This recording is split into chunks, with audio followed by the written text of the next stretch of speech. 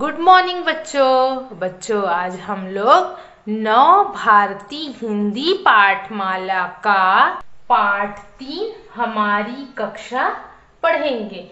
बच्चों, पाठ तीन हमारी कक्षा चित्र वर्णन है।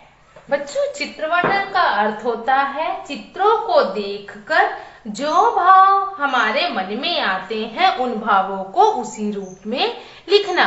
बच्चों, जब भी हम कोई चित्र देखते हैं तो कोई ना कोई भाव और विचार हमारे मन में आते हैं। हम उन भावों या विचारों को उसी रूप में लिखते हैं या फिर बोल करके बताते हैं। यही चित्र वर्णन कहलाता है। चलिए बच्चों अब देखते हैं पार्ट तीन, हमारी कक्षा का चित्र वर्णन। चित्रों को ध्यान से देखो और बताओ। बच्चों, यहाँ पर जो चित्र दिए हुए हैं, हम उसे ध्यान से देखेंगे।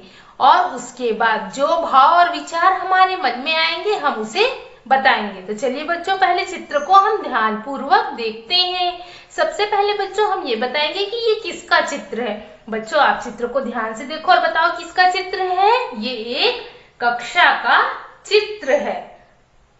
इस कक्षा में क्या है? बहुत सारे बच्चे हैं। देखिए बच्चों, आपको दिखाई दे रहे हैं ना कक्षा का चित्र और बहुत सारे बच्चे हैं। और बच्चे क्या कर रहे हैं? अलग अलग समूहों में बैठे हुए हैं। और सारे बच्चे बैठ करके क्या कर रहे हैं? चित्र बना रहे हैं। है ना? आपको चित्र में दिखाई दे रहा है कि सारे बच्चे अलग अलग समूह में बैठकर चित्र बना रहे हैं। देखो बच्चों, चित्र में उनकी क्या है? मैम भी है, जो उनको निर्देश दे रही है कि चित्रों को कैसे बनाना है। चित्र को देखो बच्चों, सारे बच्चे चित्र बनाकर कितने खुश हैं। उन्हें चित्र बनाने में बहुत मज़ा आ रहा है। देखो बच्चों, सारे बच्चे अलग अलग चित्र बना रहे हैं। कुछ बच्चे पेड़ का चित्र बना रहे हैं तो कुछ सूरज का चित्र बना रहे हैं।